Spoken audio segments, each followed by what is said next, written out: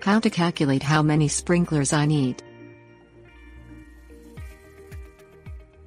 Installing your own sprinkler system is cost effective and fairly simple, but you first have to know how many sprinklers you need for your yard.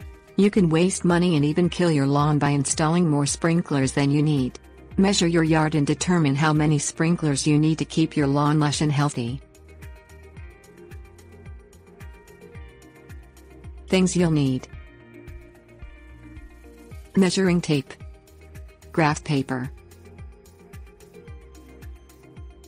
Measure your yard. Use a measuring tape to measure the outside edges of your yard. Draw the area of your lawn on a piece of graphing paper.